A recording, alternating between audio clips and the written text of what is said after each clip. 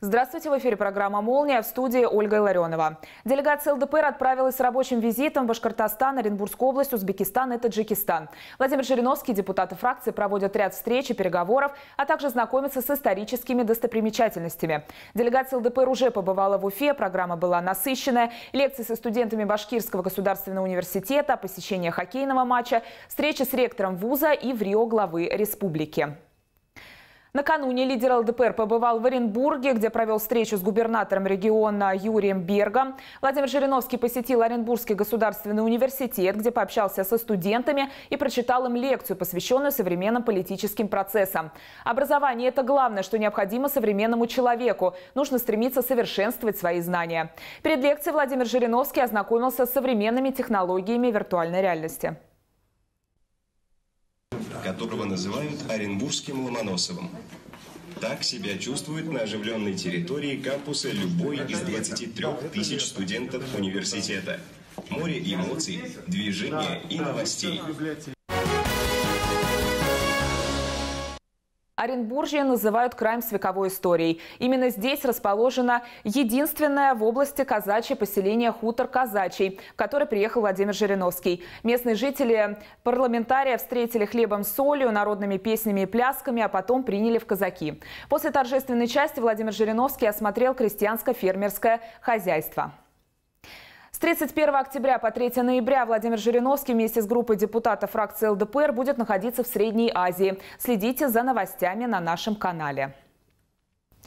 А 4 ноября в центре Москвы на Пушкинской площади ЛДПР проведет антивоенный митинг. Он будет направлен против войны на Украине, конфликтов на Ближнем Востоке любых учений НАТО, направленных против России. ЛДПР не поддерживает демонстративные силовые выступления и любые военные провокации. Такие вещи пугают жителей всей планеты, и никто не может чувствовать уверенность в завтрашнем дне. Ранее в Норвегии несколько тысяч человек устроили акцию протеста в связи с проведением учений НАТО в Северном море. Скандинавы считают, что эти учения направлены против России. России. Люди, живущие в Европе, не хотят ни обострения международной обстановки, ни войны. Следующая рабочая неделя у россиян будет четырехдневной в связи с празднованием 4 ноября Дня народного единства. Поскольку 4 ноября в этом году приходится на воскресенье, выходной день будет и в понедельник 5 ноября. Таким образом, россияне будут отдыхать три дня подряд с 3 по 5 ноября включительно. После праздничных выходных в России будет четырехдневная рабочая неделя со вторника до пятницы. Мы продолжаем следить за непростой ситуацией в микрорайоне Новая Мурина под Санкт-Петербургом. К нам обратились жители соседнего жилищного комплекса Новая Охта. Они утверждают, что дорога Самострой, возведенная муринцами, это не только постоянные пробки. На месте этого выезда должна была быть построена школа. Если Самострой узаконят, никакой школы не будет. Самострой Новых Муринцев занимает все земельные участки, на которых должны располагаться школа и спортивный объект, и, ну и парковая зона. При этом стоит обратить внимание, что на территории жилого комплекса Новая Мурина есть и детский сад, и школа. Таким образом, расположение дороги на земельных участках, принадлежащих Санкт-Петербургу, не дает нам возможности построить предназначенные для жителей Санкт-Петербурга и для жителей Новой Охты социальные объекты. Сегодня в Новой Охте всего лишь одна действующая начальная школа. В ней количество занимающихся ребят вдвое превышает норму. Дети вынуждены каждое утро по часу добираться до города, чтобы учиться. В это время муринцы с комфортом выезжают из своего микрорайона. Конфликт казался бы рутинным, если бы не страдали дети. В ближайшем будущем э, у нас создается полностью жилой комплекс, и количество жителей составит 50-60 тысяч человек. По средним нормативам нам нужно 2650 мест э, в общеобразовательной школе, плюс 200 дополнительных мест в начальной школе. Э, с учетом многодетных, соответственно, этот коэффициент будет значительно выше. А, у нас сейчас есть школа на 850 мест недостроенная, которая будет дана, которую обещают сдать в конце 2019 года. И переполненная начальная школа, в которой есть 200 мест, фактически в ней учатся 540 человек. Программа «Молния» продолжит следить за ситуацией в Новом Мурино. Напомним, что по итогам прошлых выпусков депутаты ЛДПР направили официальный запрос в администрацию Санкт-Петербурга с требованием разобраться с проблемной дорогой и помочь людям. К другим новостям. Губернатор Хабаровского края Сергей Фургал на посту находится уже месяц. Накануне он дал свое первое большое интервью телеканалу «Губерния». Сергей Фургал анонсировал большую реформу сельского хозяйства и рассказал о финансировании региона. Фрагмент интервью смотрите далее. На сегодняшний день, на 2018 год, федеральный центр выделил 17,1 миллиарда рублей по федеральным программам, а на 2019 год уже зафиксировано, выделено и гарантированно поступит 18 миллиардов 400 тысяч рублей, э, ой, 400 миллионов, то есть на миллиард 300. И кроме этого, со стопроцентной гарантией можно сказать, что эта сумма значительно увеличится после того, как будут распределены федеральные средства. То есть это То уже есть, э, зарезервировано мы, за нами? Это 100%. Это 100%. А на 2019 год э, средств федерального бюджета поступит больше. Уже на миллиард двести зарезервировано, но, как показывает практика, и практика ну, никогда не ошибается, после распределения еще дополнительно будут деньги. Но это не значит, что мы не должны увеличить собственные доходы. Я просто хочу сказать, что федеральный центр, если мы такой глобальный, он все прекрасно понимает, а зачем федеральному центру нужно кому-то мстить. Федеральному центру необходимо, напряженность. Федеральному центру необходимо, чтобы люди работали, получали заработную плату, дети ходили в детские сады, школьники в школы, люди на работу, а, медики в больнице, больные лечились и так далее, и так далее, и так далее. Там сидят адекватные, нормальные люди. Причем тут политическая принадлежность? Если у кого-то были какие-то мысли и мнения по этому поводу, но это частное мнение и частные мысли. Сельское хозяйство – это же не только продукты питания. Сельское хозяйство – это 421 тысяча населения, проживающего в сельской местности. Если мы не будем сегодня заниматься сельским хозяйством, что у нас будет делать 421 тысяча наших граждан? Прежде всего, Выпивать. сельское хозяйство подразумевает под собой – необходимость людей задействовать в процессе. Люди должны работать и получать за это деньги. Вторым этапом продовольственная безопасность. Это тоже вещь крайне серьезная и стратегическая. Поэтому очень большие изменения, конечно, и по Министерству сельского хозяйства идут, э, и вообще по этому блоку большие, ну, прям изменения – и сегодня мы э, буквально боремся за каждого производителя, за каждого фермера. Мы в кратчайшие сроки разрабатываем программу развития агропромышленного комплекса в Хабаровском крае, трехгодичную, и неуклонно, шаг за шагом, будем восстанавливать то, что мы потеряли с 1991 года.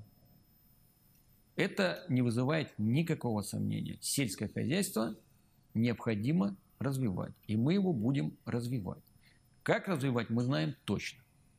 У нас уже намечены прям по районам, по деревням, по регионам, кто чем будет заниматься и, и что мы будем делать. Сколько нам нужно будет построить овощехранилищ, сколько нам нужно будет зернохранилищ, где мы будем сеять картофель, где мы будем сеять э, зерновые, где у нас будут покосы, где мы будем развивать коров и все остальное. Понимание есть полное. Я думаю, что в ближайшее время а, программа развития АПК на селе и сельских территорий, ну, если будет это интересно гражданам, я думаю, мы даже опубликуем Я а, думаю, это будет очень интересно. И, и, и, это... и покажем, а, где у нас будут строиться ФАПы, где у нас будут достраиваться школы, где у нас будут строиться или меняться кочегарки, так называемые, да. То есть, ну, поэтапно все. А, сельское хозяйство нуждается в дотациях. Но, кроме этого, существует масса федеральных программ поддержки села. И ими нужно пользоваться. И мы будем ими пользоваться, и будем получать в том числе серьезную поддержку из федерального центра. У нас есть поддержка на 1 гектар. Ну, кто занимается сельским хозяйством, он знает. У нас есть э, дотации на яйцо, у нас есть дотации на молоко, у нас есть дотации на мясо. В принципе, если правильно, грамотно, целенаправленно в этом направлении идти, то ничего страшного здесь нет. Можно привлекать недорогие кредиты э, через Россельхозбанк субсидируемые – привлекать федеральные деньги, ну и, соответственно, конечно, и краевой бюджет будет вкладываться. Но это же наши люди. Десятки сомнительных уголовных дел, которые разваливаются на глазах. Наполовину остановленное производство. ОМОН среди бела дня на территории завода. Страх людей, отдавших оборонке жизнь, быть в буквальном смысле вышвырнутыми на улицу. Программа «Молния» продолжает разбираться в том, кто и зачем уничтожает крупнейшее предприятие страны «Красный Октябрь» и как его пытаются спасти на самом высоком уровне. На Волгоградский металлургический комбинат «Красный Октябрь» словно вернулись бандитские 90-е. Сюжет вокруг завода напоминает долгосрочную осаду города в городе. Частично остановленное оборудование. Очень странные уголовные дела против менеджеров завода. 2800 рабочих, уволенных за 4 года легендарной династии Столиваров, которые также рискуют остаться в нищете. Список можно продолжать и продолжать. Ситуация настолько критическая, что депутаты от фракции ЛДПР приходится призывать на помощь все партии Государственной Думы с трибуны парламента. Все имущество арестовано, счета все арестованы, ежеквартально налоговые претензии, инспекции, весь менеджмент под судами, суд, значит, Три года возбуждают уголовные дела, полтора-два года закрывают за отсутствием состава преступления. То есть фабрикуют просто для того, чтобы всячески заставить закрыть предприятие, реально закрыть просто осада, осада предприятия. Схема одна и та же. Налоговые претензии, сотни миллионов рублей. В это время возбуждают уголовные дела в отношении руководителей. Руководители, значит, следственный изолятор, после чего компания меняет своего владельца. Ну, понятно. Механика ясна. В это время главный акционер «Красного октября» вынужден по скайпу общаться с представителями прессы. Присутствовать на антикризисной пресс-конференции он не может. Против него возбуждено уголовное дело. Остальные восемь дел против руководителей завода были закрыты за отсутствием состава преступлений. Правда, всем обвиняемым пришлось провести в СИЗО от года до трех лет. Наша редакция располагает документами, ясно показывающими, насколько сомнительными были возбуждены уголовные дела против менеджмента «Красного октября». Читаем. 16 ноября 2016 года с Герасименко, обвиняемого по части 4 статьи 160 Уголовного кодекса Российской Федерации, снято обвинение. Преступление совершено 26 марта 2007 года, за пять лет до прихода Герасименко. Истек десятилетний срок привлечения к ответственности неустановленных лиц. Конец цитаты. И подобных постановлений Тверского суда Москвы 6. Дело было, а человека не было. Настоящий юридический парадокс. Основным мотивом э, у представителей налоговой инспекции, когда протягивали это э, свое решение через Волгоградский суд, было постановление районного суда о том, что мы все преступники. Вот этот следователь сам придумал, налоговая подхватила, и они понесли, аж штрафовали за Вот что происходит. Если журналисты будут молчать, а зачем тогда заниматься этой профессией? И, конечно, без внимания федеральных СМИ и без внимания федеральных органов власти мы не сможем защититься. Потому что эти же судьи, которые штамповали арестные материалы, по ничего в жизни не сделавшим людям, эти же судьи нас сейчас будут, вдруг станут экспертами в банкротства. Эти же самые. Несмотря на сложную ситуацию, предприятие продолжает выпускать уникальную продукцию – спецсталь. Аналогов «Красного октября» в стране не существует. Если завод встанет, оборонки придется существенно сократить, а то и вовсе прекратить выпуск танка формата и новых подводных лодок. Но главное – это люди. Сейчас на комбинате трудятся больше 4 тысяч человек. Вместе с семьями – это около 12 тысяч. Все они могут оказаться на улице. Настолько важна безостановочная работа волгоградского предприятия. И на самом верху это хорошо понимают. Еще раз подчеркну, речь идет о крупнейшем предприятии Волгоградской области. 4 тысячи человек работающих, выпускают уникальную продукцию для нашего оборонного комплекса. В настоящий момент я лично туда полетел, не поленился в эту пятницу. Ситуация критическая. Если мы с вами не вмешаемся, у нас не будет арматы, у нас не будет практически никакой бронетехники, потому что других предприятий просто в этой отрасли, к сожалению, пока нет. При этом Трамп, вы знаете, выходит из соглашения по ракетам малой и средней дальности, они наращивают гонку вооружения, в это время мы свою отрасль оборонную уничтожаем. Поэтому, коллеги, я обращаюсь к вам, я надеюсь, мы вместе подключимся, просто давайте хотя бы поглубже разберемся в этом вопросе. Ситуация критическая. Спасибо. Программа «Молния» продолжает следить за темой Красного Октября. Совсем скоро на нашем канале смотрите аналитическую программу «Реакция» и специальное расследование ситуации на крупнейшем заводе страны. Мы прерываемся на короткую рекламу, далее продолжим. Это программа «Молния». Мы продолжаем прямой эфир. Госдума поддержала упрощенное получение гражданства Российской Федерации. Идея вызвала долгие дебаты в Нижней Палате Федерального парламента. Депутаты воспользовались случаем для того, чтобы с думской трибуны еще раз заявить о нарушениях прав русских за рубежом и призвать к тому, чтобы принять меры для снижения барьеров и повышения привлекательности возвращения на родину. От фракции ЛДПР выступил депутат Александр Шерин.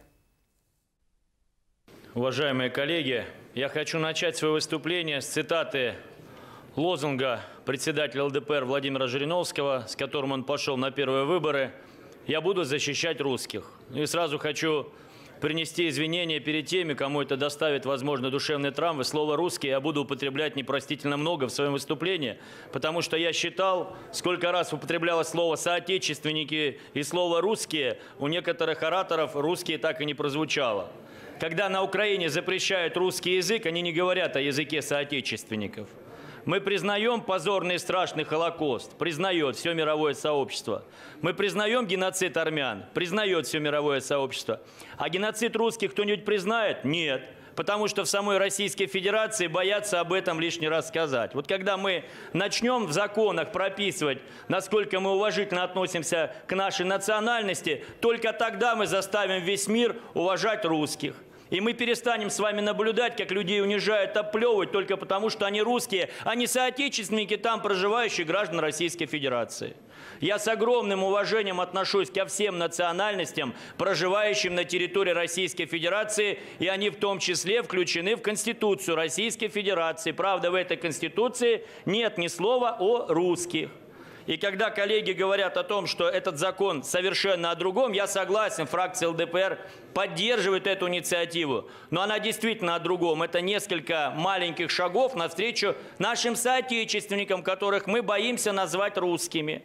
И я хотел бы процитировать наш законопроект, который с 14 декабря 2016 года внесен группой депутатов Государственной Думы фракции ЛДПР где мы предлагаем статью 14 дополнить частью 2.2 следующего содержания.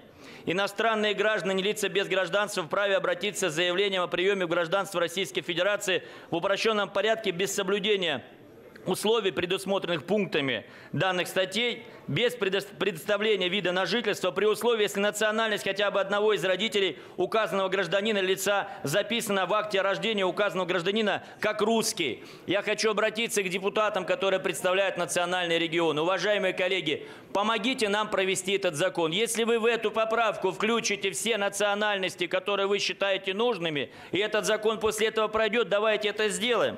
Потому что мы получаем Отрицательное заключение правительства Российской Федерации, где, цитирую, сказано, что предлагаемый законопроект изменений не согласуется с положениями части 2 19 Конституции Российской Федерации, согласно которому государство гарантирует равенство прав и свобод человека независимо от его национальной принадлежности. Я не буду называть национальности, которые находятся у нас, проживают на территории Северного Кавказа. Но вы знаете, я завидую этим национальностям, когда за них заступаются главы субъектов. Вот бы так бы русским бы повезло, чтобы и за них бы также заступались.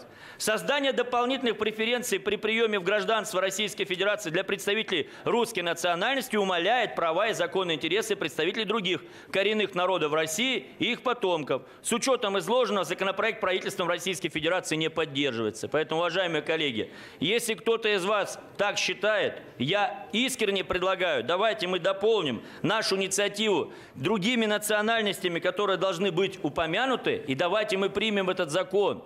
Потому что когда мы на Олимпиаду едем без нашего гимна и без флага, то это публичное унижение.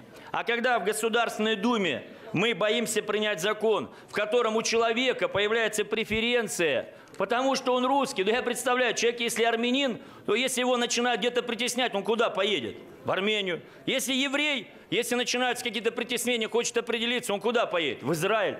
А если человек цыган или русский, он в какую страну может поехать? Где у него будет преференции? Я не знаю. Э, когда вот я был подростком в Краснодарский край, 93-94 год, первые русские беженцы поехали не буду говорить э, опять регион национальный, Они мне рассказывали, почему их притесняют, почему им дают 24 часа, чтобы они продали имущество и покинули территорию. Я думал, ну что ты будешь делать? Ну, наверное, там в Москве не понимают, не чувствуют этой боли, что такое быть русским, особенно когда ты на приграничной территории. Вот смотрите, я нахожусь с вами, коллеги, в этом здании в сердце парламент. То есть мы можем принять этот закон. Так какая проблема? Давайте мы это сделаем. Сколько лет это может длиться? И для того, чтобы я совсем уже вам не показался человеком, который с какими-то, может быть, националистическими уклонами и только там за русских выступает, я вам пример приведу. Виктория Якименко. Да, вы не ошибаетесь, если вы думаете, что это внучка героя Советского Союза, заслуженного летчика Советского Союза. Это она самая. Э, дедушка ее, Якименко Антон Дмитриевич, генерал-лейтенант. Год уже с ней хожу по всем инстанциям, депутатские запросы пишу. Она украинка по национальности, она хочет жить э, в Российской Федерации, получить гражданство. Тоже нет такой возможности получить. Поэтому я предлагаю, друзья мои, этот закон совершенно верно. Да, а соотечественников, они попадут в определенную категорию, соберут кучу справок, пройдут, а, обозначат, что они беженцы, там бомжи никому не нужны, походят, поунижаются, пособирают справки – и, естественно, вы потом проведете статистику, сколько среди них будет русских. Будет 99% в основном. Потому что другие национальности себя, наверное, в такую обиду не дают. И это хорошо. Это хорошо. Поэтому я еще раз, уважаемые коллеги, суть моего выступления заключается в том, что мы инициативу поддерживаем от фракции ЛДПР, а всех остальных депутатов нашего парламента прошу присоединиться к данной законодательной инициативе, чтобы мы не ущемляли достоинства никакой нации. Давайте включим остальные национальности, которые вы считаете нужным сюда включить. И все национальности национальностей, которые входят в состав Российской Федерации и изложенные в Конституции, ну, кроме русских, потому что там в Конституции ничего об этом не сказано, в нашей Российской Конституции, мы этот закон снова внесем, и тогда не будет э, умаления ничего достоинства. Я думаю, бумага все стерпит, лучше мы все национальности перечислим, которые живут на нашей многострадальной земле, в том числе и русских. Если это поможет принять закон, чтобы у русского человека появилось право, где его ущемляют, оскорбляют, унижают, бросить все и поехать на свою историческую родину, родину и за три месяца получить гражданство, то этот закон надо принять. А если такого закона нет, как мы можем требовать уважать наших с вами русских братьев на территории других стран? Если мы сами, скажем так, не подаем такой пример. Спасибо, уважаемые коллеги. Владимир Жириновский дал интервью каналу «Россия-24» и обсудил важные вопросы. Они касались внешней и внутренней политики нашей страны. В частности, речь шла о санкциях и новых провокациях США, об отмене моратория на смертную казнь в России, о принятии Европарламентом резолюции по Азовскому морю и многом другом. Вашему вниманию фрагмент интервью. Это агрессивная вот сущность наших людей. Нас очень любят арестовать, повесить, расстрелять. И ведь надо посмотреть на практику. Нигде, ни в одной стране мира, где смертная казнь действует, нет уменьшения преступности. Этот парень с Керчи, ему наплевать, есть смертная казнь или он шел умирать. И сегодня огромное количество смертников. Уже поздно восстанавливать смертную казнь. Убийства совершают смертники. Они совершают преступления и сами кончают жизнь самоубийством. Вспомните немецкий летчик. Он весь самолет направил на гору, и все взорвалось. Поэтому это ничего не даст, не поможет. А безвинные жертвы могут оказаться. Поэтому, как человек, и зная мнение избирателей, мы поддерживаем, как юрист, как ученый человек, я говорю, бесполезно. Не надо усиливать репрессии. Репрессии, страх нагонять не надо в обществе. Надо расширить не только Азовское море, Черное море, Балтийское, Баренцево, по всему периметру наших западных границ пытаются нам вставлять палки в колеса, пытаются взять под контроль морские пути. Почему вот Азовом занимаются? Иран в блокаде. Предполагалось вывоз иранской нефти через Каспийское море, Семлянское водохранилище, Черное море, Азовское и в Европу идет. Но они хотят это перекрыть тем, чтобы ввести какой-то международный контроль, усилить свой. То же самое у нас. Северный морской путь. Вот сейчас учение проходит Баренцево море. Это чтобы в перспективе заблокировать Северный морской путь. То есть еще раз нанести удар по экономике. Санкции – это отдельно, продукция, люди и так далее. А торговые пути – Тут уже нету санкций, потому что мы э, сами будем использовать их. Так они пытаются помешать нам через всемирные международные торговые пути, а в основном это морские, чтобы они не могли вывозить иранскую нефть и нашу, и вообще любые наши грузы. Допустим, мы нашли покупателя нашей продукции, а они будут блокировать перевозку этой продукции морским путем. А сухопутным та же Украина будет блокировать. Поэтому это все борьба с нами, с нашей экономикой. В перспективе это же самое перейдет и в военное противостояние, когда нашим военным судам нельзя будет где-то выйти. Поэтому это не случайно. Резолюция, вроде бы там по Евро, Азовское море, и там пытались военную базу построить, совместные учения. Это все одно и то же пытаться нам мешать торговать, а в перспективе, если военные действия, мешать нам перебрасывать войска. Сейчас это рентген. Вот смотрите, какие-то там скрипали, которых живы, здоровы, все в порядке, вводятся огромные санкции. Там какие-то высылают дипломатов, экономические санкции. Убивают в наглую журналиста в европейской натовской стране Стамбул. И тишина. Никто же слова не поднимает про слово санкции. А Трамп прямо говорит, у нас хорошие торговые отношения, скорее всего, мы не будем их ухудшать. И при этом дальше что еще? Это, конечно, э, в общем-то, в целом новый тип избирательных технологий. Вот то, что сегодня, скажем, Запад в лице Америки, Англо и Британии проседает, уменьшается их, так сказать, количество денег, которое им необходимо – и чтобы свои финансы спасти, им выгодно ухудшение обстановки.